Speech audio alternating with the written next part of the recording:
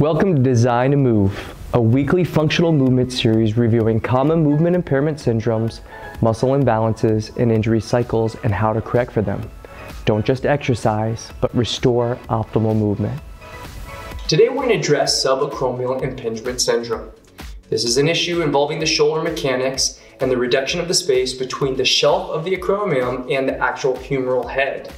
When there's a decompression of this area, pain and inflammation is normally reduced. So today we're gonna show you how to use stretching and activation techniques to restore the natural biomechanics of your shoulder and increase your quality of life. If you want more information on the topic, read our blog in the description below. And if you have questions, reach out to us at admin at fluidhealthandfitness.com. Let's get started. Our first segment is release. We're gonna address the pec major and the latissimus dorsi. These are two major muscles that pull the shoulder forward and close off uh, space within the joint at the shoulder. Uh, we're going to use a myofascial release so that we can restore the length tension relationships at the joint. First muscle we're going to target is the pectoralis major. The muscle attaches from the sternum to the arm across the body from medial to lateral. The ball is going to be placed from the sternum. You're going to roll into the belly of the muscle and then exert pressure down onto the ball in a prone position on the ground. Let's get started. All right, and so now Ryan has rolled out into the belly of the muscle where he's found a good tension spot. He's abducted his leg on the opposite side. He has a fist in the front of the head to keep the neck at a neutral position. And then he starts out with his arm um, back so that it has a passive tone in the muscle. From this position, after he's waited 30 seconds, He's gonna inhale, he's gonna turn the palm up, reach forward until he finds tension and restriction, and then he's gonna inhale, exhale and bring the arm back. And so now Ryan, while he's moving the arm, he's moving at a pace of two seconds, moving to the top, four seconds moving to the bottom. He's gonna go through roughly six to eight breathing cycles, and then he's gonna switch over to the other arm. The next traditionally overused muscle group that distorts the shoulders forward is the latissimus dorsi. This is the biggest upper body muscle group that attaches our ribs basically to our lower back and uh, pelvis. So it attaches basically here around the mid back, wraps around the rib cage under the, the armpit, and attaches up at the arm over here, almost hooks around it you use the muscle to flex the arm and bring it back. So we're gonna apply a soft tissue release technique using a foam roller and get down on the ground to do that. Let's get started.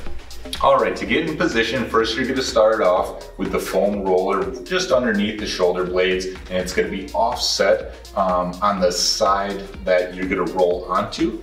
Um, from there, you're gonna slightly roll over until you find the first tension spot. You're gonna be set and stagnant in that position on that tension spot, and then you're gonna bring the legs up until you're in the fetal position um, creating flexion through the spine. That way that you can anchor the lat um, so that you can gain more tension with it. From here, he's also holding the head so that he can maintain a neutral head position without using the musculature in his neck. From there, he's gonna turn his palm up, inhale and reach above his head till he finds the first restriction. Then he's gonna exhale and bring the arm down.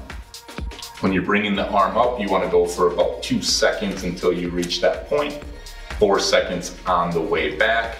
He's gonna go through roughly six to eight breathing cycles, and then from there, he's gonna switch over and get the other side.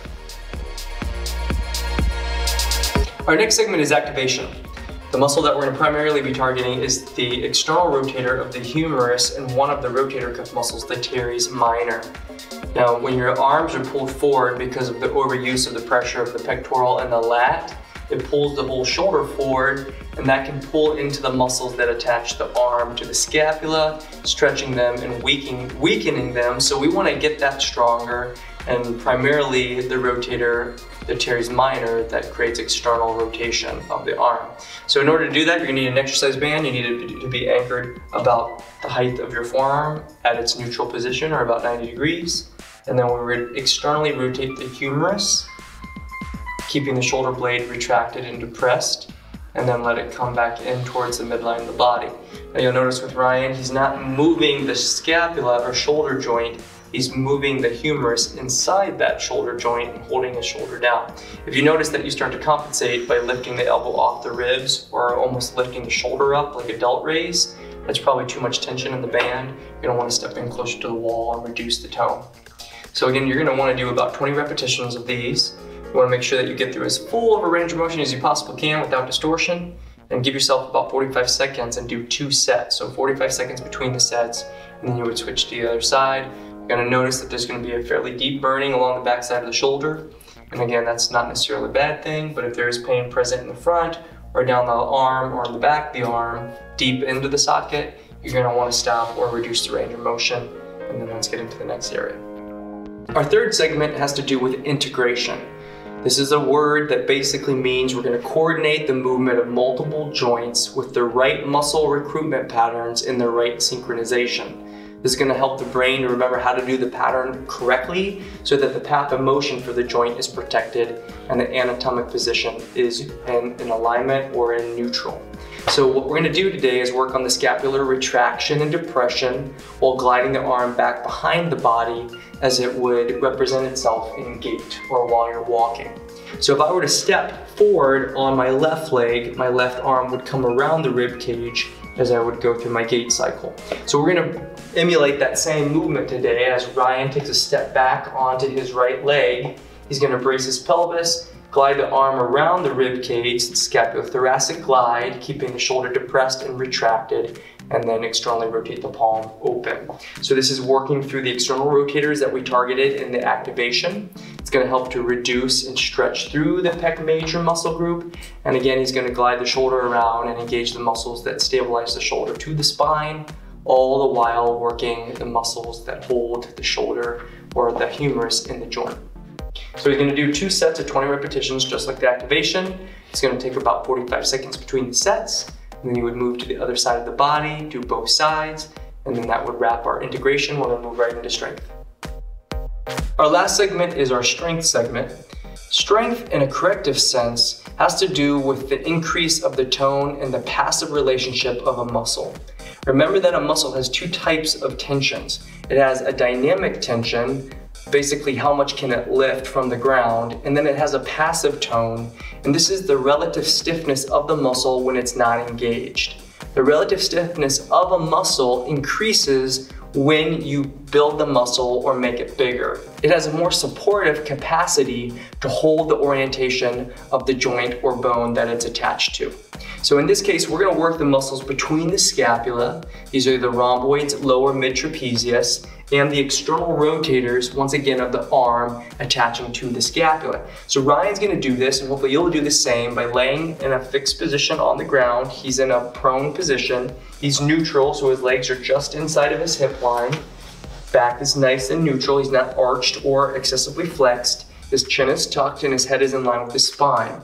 Now with his arms retracted, he's gonna start to lift the arms up overhead until he feels his upper traps start to engage and he starts to shrug or when I feel those shoulders roll in fearly towards the, the floor or in this case the table that he's on. So he's gonna breathe out as he lifts up, breathe in as he comes down, and he's doing a nice slow controlled movement for each of the repetitions. All said and done, again he's gonna do 20 repetitions, two sets, 45 seconds to a minute of recovery in between, and he would go again until he would feel that momentary fatigue.